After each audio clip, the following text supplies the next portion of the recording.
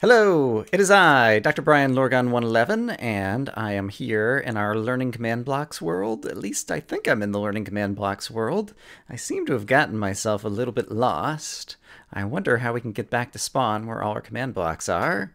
Perhaps via this. Ooh, it's a sign that says teleport to spawn with spawn in red and bold. And if I right click the sign, Kazam! I've been teleported back to spawn. And so, as you might be able to guess, in today's episode, we are going to learn about such things. Specifically, we're going to learn about JSON data, the tellraw command, and clickable signs. So let's get started. First up, let's learn the very basics of the tellraw command, which allows us to put text in the chat. We already know one way that we can put text in the chat, and that's with the say command. I can say, hello world, and it prints my username in square brackets followed by hello world which is nice, but what if I don't want the my username with the square brackets? What if I just want to print exactly hello world into the chat? And for that, we can use the tellraw command. I'm going to say tellraw at a, a player selector. In this case, at a will be all the players in the world. And then I will put the text hello world in quotes and square brackets here. And that will put hello world in the chat, this time without my username in the front. And so that's the very basic syntax to get us started with tellraw, but there's a bit more to learn here. The syntax that the tellraw command uses is something called JSON, J-S-O-N, JavaScript Object Notation. You can learn a whole lot more at json.org if you like to, but I am just going to try to quickly summarize the important bits that you need to know as it relates to Minecraft, uh, which I have here on the sign. I find the default signs in Minecraft to be very hard to read. If you get very far away, uh, the text gets really hard to read, partly as a result of the fact that it's on this wooden plank texture that has these kind of dark colored lines and speckles all in it. And so usually I hate resource packs and doing anything that's not completely vanilla. But for this right now, I'm going to actually do a little resource pack that I created. That was easy to create because the only thing I change is the sign texture so that it has a completely white background just to make this text pop a little bit more. But in any case, let's take a look at the basic types of JSON text that we need to know about as it relates to the tellraw command. And there are three things here. The first line is simply a string. Strings appear inside double quotes, and so quote string quote is how you do the string string. The second line is an array of JSON objects, and basically an array has square brackets on the left-hand side and the right-hand side, and inside of it is a list of things separated by commas. And so here we have an array with two elements. The first element is the string JSON, and the second element is the string array. And so that's what the second line is, an array of things. And the third line is a compound object, which is a list of key value pairs, a name and a value.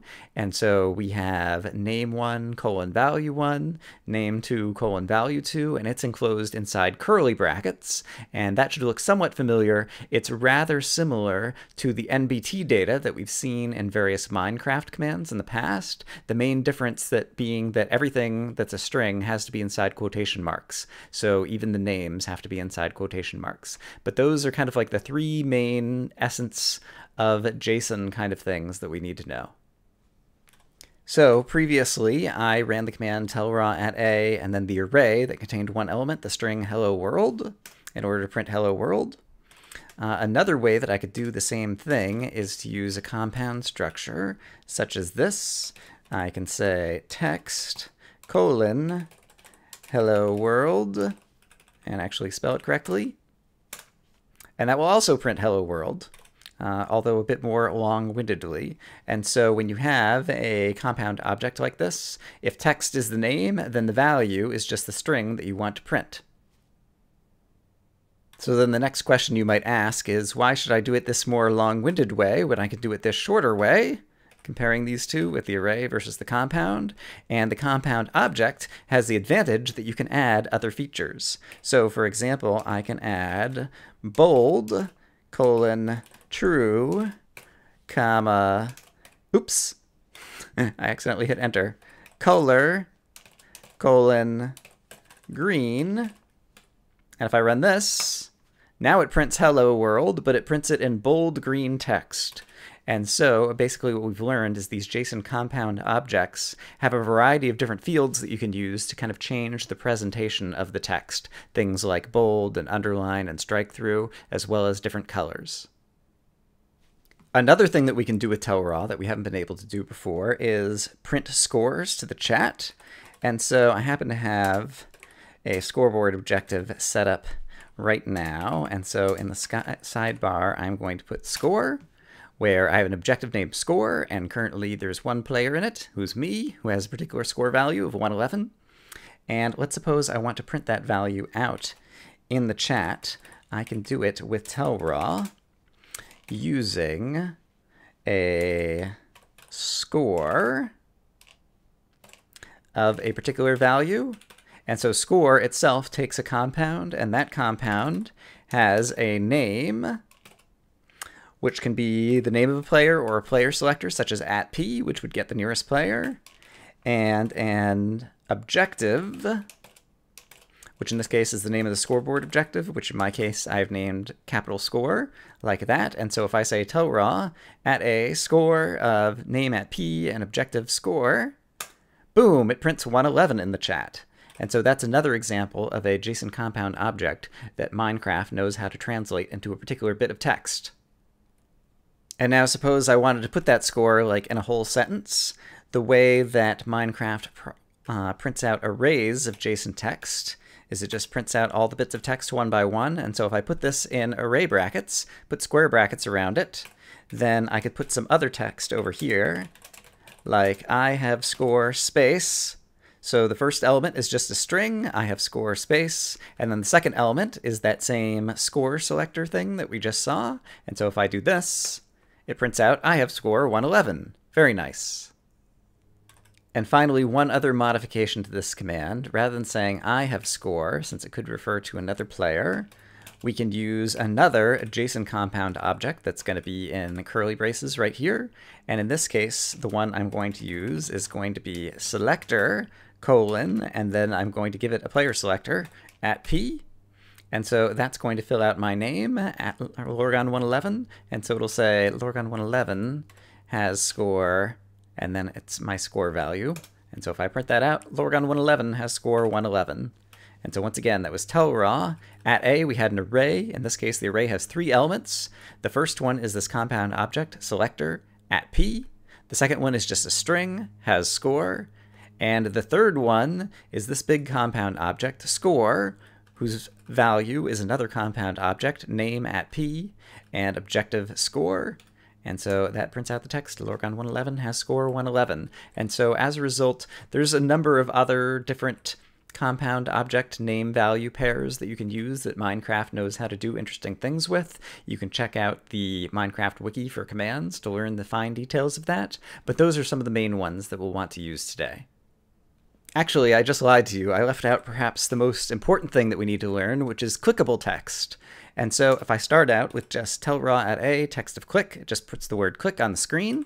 But if I want to make that word actually clickable, I can do so like this.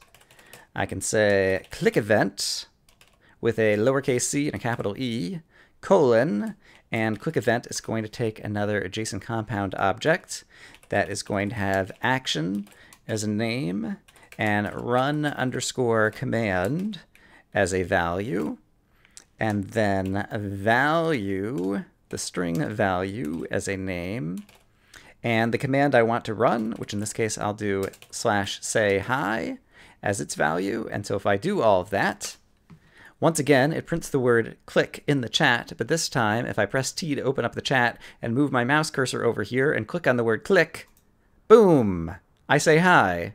And so every time I click the word click here in the chat, it is going to tell me to say hi. And so we're running a command every time someone clicks a word in the chat. Once again, the command that I just used is tellraw at a, text of click, click event is a compound object, action of run command, and value of say hi. So that is how we make clickable text. Next up, let's learn about signs. I have a command I'm going to paste into this command block, and we'll take a look at it in more detail in just a moment. But if I go ahead and run this command, it is going to place a sign here, and the sign, signs always have four lines of text, and in this case the four lines of text are just one, two, three, and four. And so if we take a look at this command, set block tilde 2 tilde 1 tilde standing sign 0. Tilde 2 is two blocks over this way, tilde 1 is one block up into the sky. Uh, standing sign 0, there's both standing signs and wall signs. Wall signs are when you place a sign against a wall, like that, and standing signs are when you place a sign on the ground like that. And when you place the signs down, they can have kind of different orientations in terms of the direction that they're facing. And so in this command, standing sign zero, zero is just kind of facing to the south, which is kind of like the default orientation. And then, you know, you can do, you know, one, two, three, four, five, six, seven, eight, uh, as all the different rotations of the way that the sign could be facing. And then finally, we're going to replace uh, that block with set block, and we're going to give it some block entity data. In this case, the four lines of the sign are called text1, text2, text3, text4, and they take strings, which are the string of text that goes in the signs. And so in this case, I've got the string 1, the string 2, the string 3, and the string 4, and that is how we wind up with a sign that says 1, 2, 3, 4. So that's the basic syntax for signs. Now it turns out that signs can also accept JSON text. Here I'm starting a sign that just has one line, that's text one, that says blah. And so if I do that, I end up with a sign that says blah, which is very nice. But it turns out that I can put some JSON text in here. And so you might think, based on what we've just learned, that I could say text colon blah like that in order to put some JSON text in the sign. But if I try running this, it will fail if we read the uh, previous output. Data tag parsing failed, unexpected token t at text, blah. Right. And so what happens here is JSON text uses double quotes to quote strings, but it's already the case that we're using double quote to quote this whole bit that is the value of the text1 name. And so when we want to use double quotes inside a double quoted string, we need to escape them by putting a backslash in front. And so basically that means I need to put four backslashes in here, like so. So now text1 is the string, curly brace, an escaped double quote, text, an escaped double quote, colon, an escaped quote, blah, an escaped quote, curly brace, and then the quote that actually ends the text one. And if I do this, let me actually change it from blah to some other text. Hello, just so that we know when it's working. And so if I run this command, boom, now it says hello. And so basically we've just proven that we can put some JSON text inside the text of the different lines of a sign, but in the process of doing so, we need to escape all of the quotation marks by putting a backslash in front of them. And so moving on to a fresh command block over here, I have exactly the same command as before, but just like with tellraw, when we use JSON compound objects with text, we can also add some other features. So I can make it bold and in green by saying comma, backslash, quote, bold, backslash, quote, colon, backslash, quote, true, backslash, quote, comma, backslash quote color backslash quote colon backslash quote green backslash quote just like that. And now, assuming I have not screwed up the syntax, we end up with hello, but this time it's bold and in green. And so basically we do the exact same thing that we did with the corresponding tellraw command, except for all of the quotation marks have been replaced with backslash, backslash quotation marks. And finally, moving on to yet another command block over here. I've placed the command in here already, because if I try to type this on camera, I'm sure I'm going to screw it up. But the text is blah, the click event, which we saw in Tellraw, but now it's inside a sign, has an action of run command and a value of say hi with lots of slashes and backslashes and quotation marks and colons everywhere. When you try to do this, you are going to screw up the syntax. Uh, my suggestion is probably to use a separate text editor like Notepad and make sure that you can see all the text and get the command correct and then go and paste it into a command block in order to do it. But if I do this, I will create a sign that says blah, but it has a click event, and so if I right click on the sign, boom, hi gets printed in the chat. And I can right click it again, hi, hi, hi, hi, hi, hi, hi. hi. And so each time I right click this sign, it is going to run a command. But furthermore, the command that we ran was slash say hi, and you'll notice it prints in the chat Lorgon 111 hi, which is to say the person who right clicks the sign is kind of the person who is executing the command.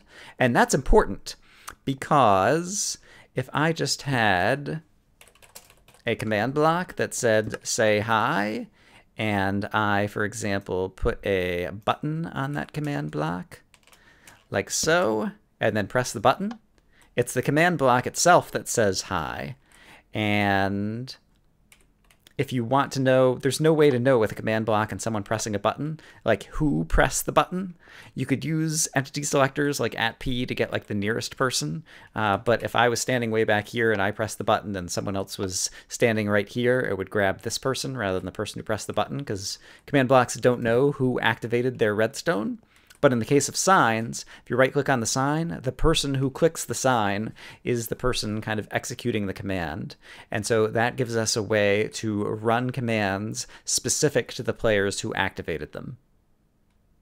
And since a lot of commands need player selectors, just as another example, let me change the command here to scoreboard players add at p score 1 and so note the scoreboard display on the right-hand side of the screen says score Lorgon 111 has 111. If I actually run this command to replace the sign, and then right-click on the sign, now Lorgon 111 has 112, Lorgon 111 has 113. Each time I click on it, it adds one to my score. And so the at p here refers to the player who actually clicked the sign. So now let's summarize what we have learned today we learned the basic tellraw command, and we learned that it accepts data in JSON format, and we learned about the basics of JSON and how JSON works, that you can have strings that are double quoted, you can have arrays of things in square brackets, and you can have compound objects in curly braces where both the names and the values, if they're strings, have quotes around them. And then we learned how to use things like tellraw to have text that has different font characteristics such as bold and color in order to get color bolded text in the chat. We also learned how you could print out scores by using things like selectors and score with a particular name and objective in order to print out stuff in the chat related to player scores. And finally, we learned how you could make clickable events, either clickable words in the chat or clicks on signs that run a command by using click event, action run command, and a value of a particular command we wanted to run. That then we could either click in the chat by running them that way, or click by right-clicking on a sign in order to have uh, some action take place as well. And I guess this is one of the broken signs that wasn't actually doing anything because I hadn't done click events until I came over here. Right, which is actually adding one to my score. Great.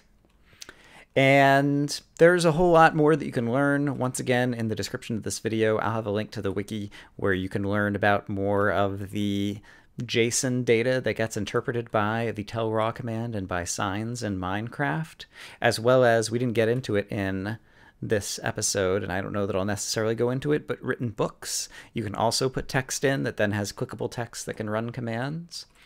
But all of these things are useful. The one that's going to be most useful, and the reason I decided to do this episode, is the one that has scores and selectors, because being able to print out scores in the chat is going to be important for something that I want to do in the future. So definitely remember that to come back to. But for now, I will leave you guys off and say that I hope you learned something. I hope that you guys are having a great day, and I will see you again soon with more learning command blocks. Bye-bye. But wait, there's more! As always, some bonus content at the end of the episode where I talk about lies or omissions that I had during this episode that didn't fit into the main episode content. And there's a couple of main ones that I can think of. One is when we are doing things like clickable text in the chat, where the person can click on it and it runs a command. Uh, it will run the command with that user's permissions. And so, for example, if I do something like set block, oops, set block, uh, do I have enough space to do it on this command line? Tilde, tilde, tilde one wool, if that fits. And then I click this, block placed. Okay, so it just tried to place some block or place some wool just behind it, just behind me. And if I run it again, I'll do that. Set block is a command that you can only run if you're opt. And so if you were to try this on a server and try to give this text to everyone on the server and let them click it, only the people who were uh, opt on the server would actually be able to do the set block that would then run the command to do this. There are ways to kind of get around that restriction to let players click on text and run uh, arbitrary kind of other redstone commands using the trigger command. And I'm not going to go into detail about that, but basically if you run into that where some clickable things aren't working for other players, it's probably because you're not in single player, you're uh, on a server and those players aren't in creative mode or aren't opt or don't have permissions to run those commands. So that's one important omission. The other main omission is when talking about the contents of the strings and what characters can appear in those strings. Uh, you can use a variety of Unicode characters to make some interesting characters and to do some interesting other things in Minecraft. I don't know about, don't care about kind of all the fine details of that, uh, but if you want to learn more, there's crazy things that you can do with Unicode characters inside these JSON data structures as well. And with that, that's where I will really end things for today. My hunch is for the next episode, we're going to kind of do some reviewing because we've learned a lot over the past nine episodes or so. And so I want to kind of like review and summarize and go into a bit more detail about some of the things that we've learned more about over time. And yeah, I also want to go into a little bit more detail about kind of like command block timing and the order that different commands run. I think that's what I'm going to do next episode, but you'll have to stay subscribed and watch to find out. I hope, as always, you guys are having a great day, and I'll see you again soon. Bye bye!